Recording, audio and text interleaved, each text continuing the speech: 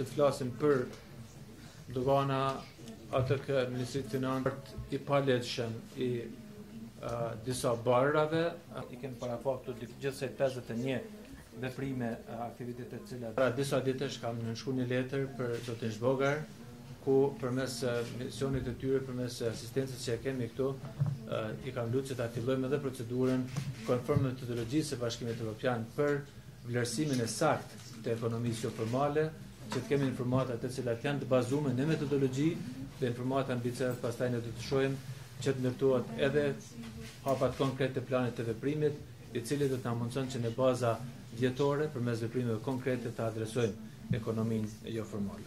Misioni i cili është në drejtim të asistencës teknike në nësit të nëse dhe kërkesa jonë për vlerësimin e ekonomisë joformale, Njësa e të jenë të...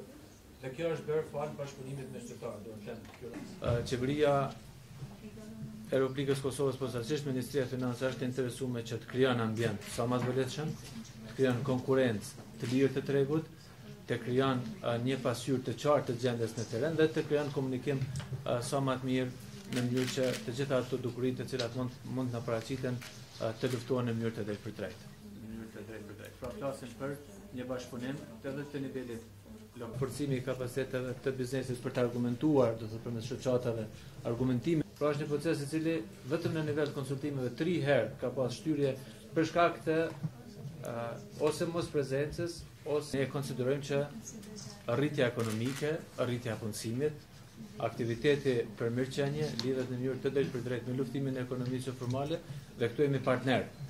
Jemi partnerë edhe shoqëria civile, edhe qeveria, edhe biznesi, sepse përmes këtij veprimi ne do të mundësojmë konkurrencë fair në treg. Konkurrenca fair në treg mund të degradohet edhe nga veprimet korruptive në nivel të institucioneve shtetërore, por mund të degradohet edhe nga veprimet jolojale të konkurrencës së drejtpërdrejtë, ku ne kërkojmë që të kemi informimin e plotë. Në strategji janë për, është i përfshim edhe analiza e riskut. Qeveria uh, vazhdoi domethënë me politikat e veta që të ndërmerr hapa më të, më të tutjeshme për uh, hartimin e strategjive të cilat do të luftonin këtë dukuri negative. Mund të themi se në këtë strategji janë shkri dy strategji, apo janë përmbledh dy strategji. Strategjia për pastrimin e parave dhe plani i veprimit i mëhershëm për parandalimin e ekonomisë jo formale. Zoti ministër, do të keni gjithmonë përkrahje në këtë drejtim të financimit. Këto grupe nga këto momente do të jenë më tepër të izoluara. Do të jenë më tepër të shqetësuara se dikush